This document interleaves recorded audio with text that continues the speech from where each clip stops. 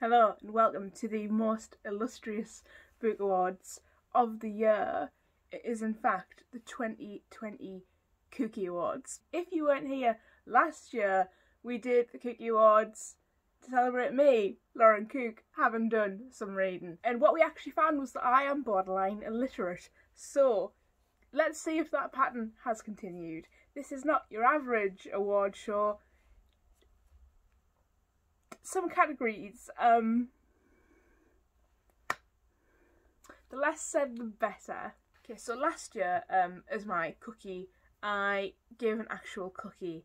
Uh, as the award, I gave a biscuit that I'd bitten. I don't have any biscuits with me this year, um, so maybe we're going to have to revert back to this sad, half-leaked panda snow globe. Um, I think it leaked in the airplane when we were bringing it back from holiday. so it's the water is somewhere over the Atlantic like six years ago. Whoa. Oh god, 10 years ago?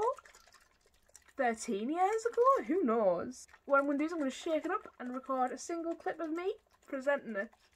And we're going to reuse that clip. Where are my lesbians? Time to talk about the lesbians of 2020. First of all, let's just so many, so many excellent lesbians I discovered in 2020. Not least because I started reading Sarah Waters. And when we're thinking about the Sarah Waters books, you know, I read Tipping the Velvet with two of the most iconic lesbians ever in the form of Kitty Butler and Nan King. Um, however, we're not going to give it to either of them. We're also not going to give it to the incredible left wing socialist dyke that Nan ends up with. No, we're going to skip over, skip over Tipping the Velvet. However, Affinity by Sarah Waters. Can we hear it for a lesbian psychic con woman in prison who seduces a visitor and sends her absolutely mad with the yearning? Uh, honestly, she went there, she did that. She didn't have to go that hard, but she absolutely did. Let's give it up for Selina Dawes, ladies and gentlemen. Selina Dawes, Lesbian of the Year. Okay, let's have a think about Gayest Book of the Year. You might be like, Lauren, you've already talked about your Lesbians of the Year. How can you have a queerer book? A queer book that doesn't have your favourite lesbians in? What's going on? Queer Book of the Year is The Adventures of China Iron by Gabriela Cabezon Camara, translated by these lovely ladies. And this is queer, not sapphic or lesbian, because who knows what is going on with these ladies labelling their sexualities, because it's fucking wild. Um, we have genderqueer characters, we have non-binary characters. It's just a lot of free love going on, a lot of spicy things happening with a lot of people. Best reading advancement of the year. Don't really know how to phrase this one. Finally, finally, finally finding a viable alternative to Goodreads because Amazon is evil and unless you are extorting them through Audible, you should not be doing business with them. However, you know, there's a whole class debate about that. Um, and if that's what you can afford, go for it. If you're in a position where you can boycott Amazon, boycott Amazon. Um, I'm kind of between those two brackets. we try our best. I boycott Amazon for buying books, but I'm really glad that I don't have to support them through this other channel of Goodreads because Goodreads was ugly. It wasn't fit for purpose. They never put any money into updating it and keeping it relevant and useful as a tool for readers. It was oversaturated, kind of like a popularity contest. People would rate books especially on the end of your reading poll thing uh, they'd never actually read. And it just wasn't really a useful tool for readers it was a useful tool for stanning and i completely appreciate that. Like if that's what you want to do with books go ahead stand on goodreads. Please do not bring that to the storygraph. The storygraph i am enamored i'm so happy that as well as being run and owned by a lady of colour it is a really useful tool. It's gaining some traction. It's got some people using it. Not as many people as I would like to have seen at this point. I don't want this to be a flash in the pan like Bookly or Booksloth or any of those other alternatives that appeared and then vanished. But I am really enjoying my time using Storygraph and I just hope it stays around for us. I think it's a massive, massive step for readers. And obviously, as we've been in a pandemic, independent bookshops have really been struggling this year. So I would like to give a cookie to all the independent bookshops I visited and enjoyed this year, really. But like maybe we'll find one that speaks to us the most. So um, in Edinburgh, I visited Typewriter Bookshop. I visited Golden Hare Books, Lighthouse Bookshop, um, Toppings and Company, and in London I visited Gay's the Word, Daunt, and all of these bookshops have been beautiful experiences, and I would much rather give them my money than Waterstones, especially Amazon. So I have to say that my heart lies with Gay's the Word as my favourite independent bookshop this year. The people in the queues outside, we've just been chilling, chatting, having a good time, uh, being real gay. It is such a safe space. I have seen young kids go there with their family members and be able to totally be themselves. Staff there are so kind, so patient, so helpful. They didn't kick us out when Jesse started coughing, even though everyone assumed they had COVID. They didn't. They just drank some water and it went the wrong way. But still, it's such a community feel at that shop, and I want to be one of the regulars. Like, I want to be a person that the owner recognises because I'm obsessed with him. Liminal space of the year. Yes, we're doing this. This is a new category. I, without a shadow of a I am going to give this to The Gracekeepers by Kirsty Logan. Because you might be like, Lauren and they travel hundreds and hundreds of miles in that book. Like, they're in forests, they're on the sea, they're on boats, they're on islands. Um, everywhere they go becomes a liminal space. And I'll tell you for why. The atmosphere of this book is so whimsical, so just just out of joint with reality that you're never settled in that story. You are always aware that something unusual is happening. It's not our world, but it's even unusual within their world. There are monsters that can't quite be, there are transformations. There is a circus, which to me is one of the most liminal spaces.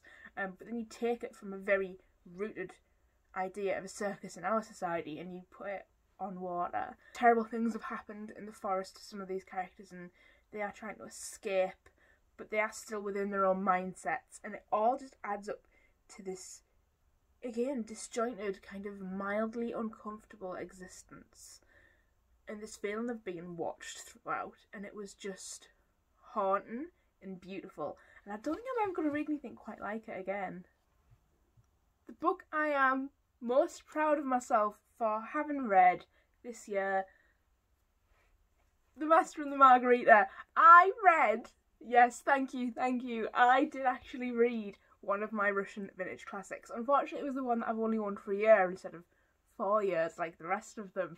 But the fact that I have conquered something in that series, oh, oh my, oh. I honestly, how could it be any more iconic than I am? Okay, so in terms of best of, I read a lot of really, really good books this year. Like it has been a phenomenal reading year for me. So I was thinking I would give some best of genre categories, uh, purely because, and I know, I know what my best book of the year was. Um, so let's just let's just go through it. my sci-fi book of the year. There was actually a bit of a contest for this one. Um, you know, there was there was a lot of really good books I read in sci-fi this year. And the best book in sci-fi I read was The Kraken Wakes by John Wyndham, early cli-fi, global warming but caused by aliens, cosy catastrophe, a man and his wife pottering about in a little motorboat, London being turned into a swamp. Just incredible, honestly incredible. Uh, and to read that kind of a couple of weeks before the pandemic took hold, on a tube, on a commute, surrounded by people being like, yeah, none of you bitches would survive. If there was some kind of disaster to happen, only I would survive. Best non-fiction I read. This is a smaller category than it normally is for me, but this year I read The Five by Hallie Rubenhold. Like, how, how can four pages of an introduction of a book completely change your entire perspective on one of the most famous narratives in British history? Hallie, how? Te- teach me. And she did. She taught me. Uh, incredible, flawless. It follows the lives of the five canonical victims of Jack the Ripper, all their last recorded movements using every historical source she can get her hands on, and you know, a little bit of conjecture, but the conjecture is based on social fact of the time. So it's not like she's just made it up. it's like valid and it's realistic. Um, and the story stops before they meet him, and he is never mentioned as part of their narratives. And at the end of the book, afterwards, what what I think we're going to give another award: most heartbreaking thing I've read this year, thing that made me actually cry this year. Um, she lists in the back of the book um, the items that were found on the bodies of the women, and it was kind of what these women who had gone through massive inequality, massive struggles, had come out the other side, owning on their death, um, everything that they possessed.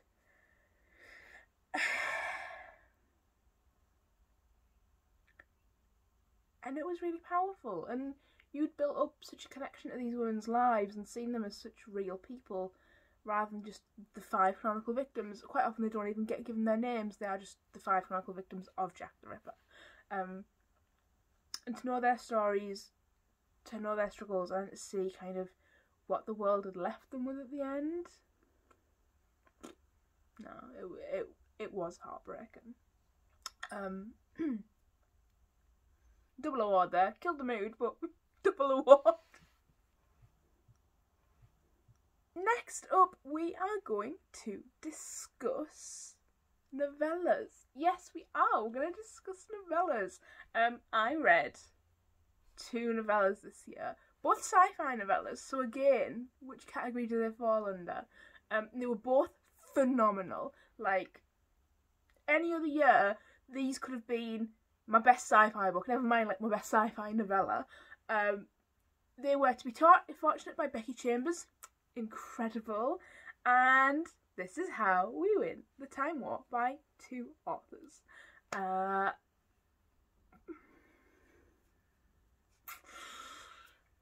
Lesbians of the Year, ladies and gentlemen.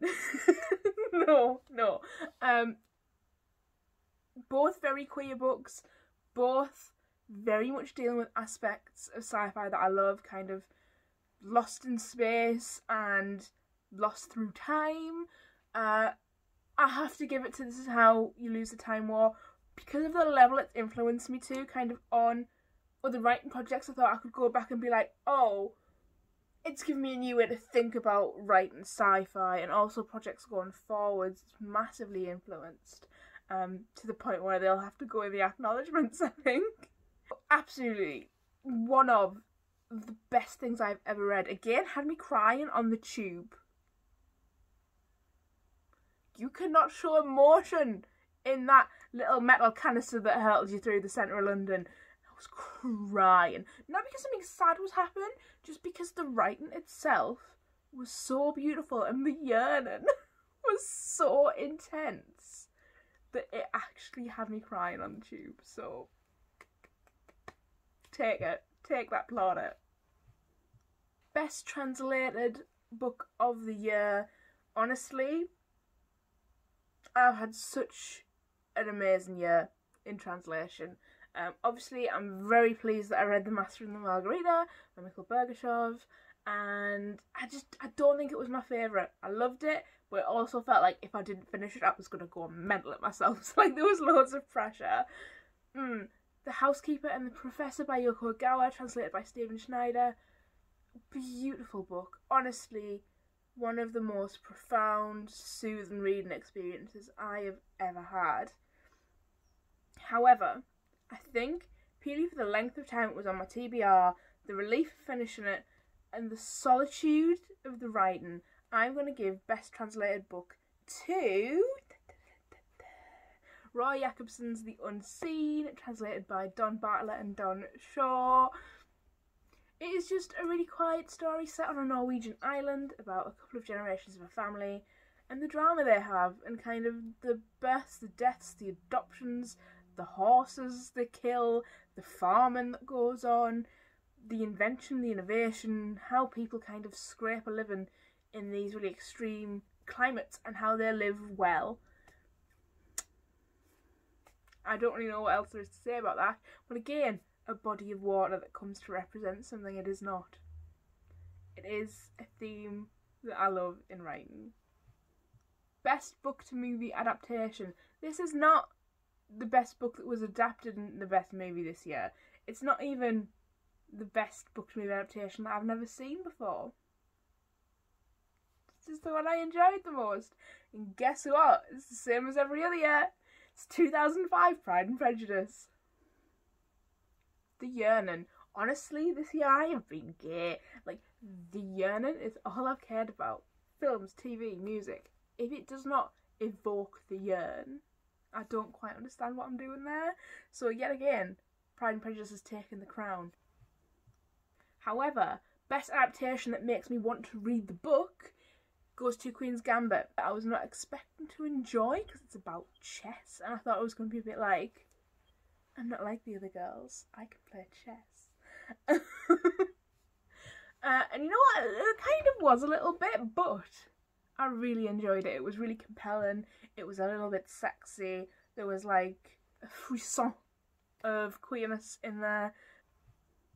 Short story of the year. I wasn't going to do because I haven't read a huge amount, but I would like to talk about The Breakthrough, which I read and really enjoyed. Uh, it was a short story by uh, Daphne du Maurier. Yes, that was it, which I kind of found very odd because in my mind, Daphne du Maurier writes kind of gothic turn of the century pieces. Uh, and she was actually writing kind of like a 1930s research base you know, like a military installation, and I enjoyed it. At first, I was a bit annoyed at quite how obviously she was pulling on Greek mythology. Um, I just have a really bad reaction to kind of Greek mythology and things because to me it's quite a classist issue. The fact that I don't understand Greek myth, I just don't know Greek mythology. Um, and as soon as I see someone whip it out, I'm like, this explains to me a lot about how you were brought up and how you were schooled. Um, but I love Greek mythology. How mad is it? Like I love Percy Jackson, which I discovered this year. I love reading the Greek myths. I just can't retain them. And to me, someone who has kind of like had them drilled into them through a schooling system is a Tory. So yeah, I do not react well to retellings and in like little nods to Greek mythology as if you should just understand. You just understand because we all do this at school. We don't do not. I was busy trying not to get knifed at school, so. But you know, it was quite a compelling little story. I enjoyed my time with it in the end. I understood why the Greek mythology references were there. It was canny. It was in one of those little blue classics that Jessie bought me towards the end of the year, which was very kind. Are we doing audio book of the year? Audiobook of the year I'm going to give to The Milkman by Anna Burns because I thought I would hate that book. Stream of Consciousness, Irish author. After James Joyce, I never thought I would do either of those things ever again. Uh, but I did, and you know what? I loved it. With such subtlety and kind of intention, this world of Ireland was crafted, and kind of the political tension was there, but it was also just a backdrop to everyday life. It was kind of like something that happened. Um, and to an outsider's perspective, you kind of can't imagine people living normal lives in amongst all of that violence that was being inflicted on that community. Also, you had very human stories, kind of kind of how a community doesn't recognise sexual assault until it's physical, how violence has to be physical in that kind of environment for it to be real, and when you're so desensitized to fear, how your fear of men can affect you.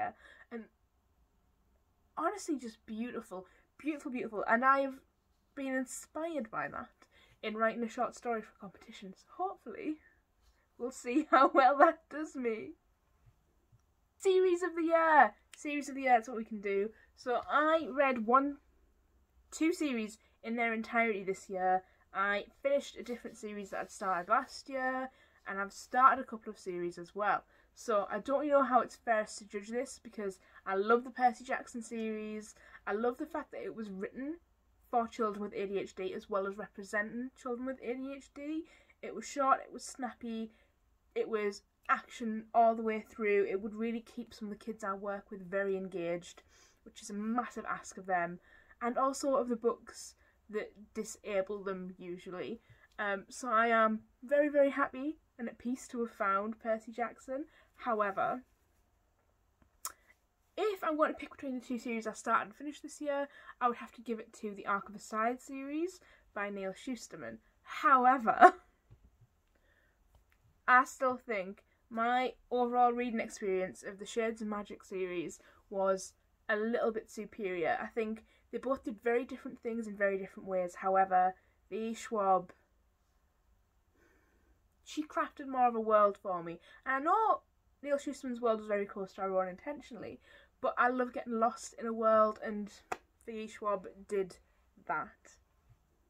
The most disappointing book I read in 2020 was without a shadow of a doubt Everything Under by Daisy Johnson. Um, I made a whole video about how I feel like this trans representation was shit and harmful, uh, and just kind of like everything I hated about it the language, the tone, the representation, liminal spaces, class issues, kind of anything that normally would be like, Lauren is here for it, was done poorly. Was it the worst book of the year? It was certainly the most disappointing book of the year. I don't feel like I'm fully reaching the level I was at in that video. Um, so maybe I'll put a little clip in here. Hey, shortlisted for the Booker Prize for the debut novel. Hey, Daisy Johnson had it all. She had it all.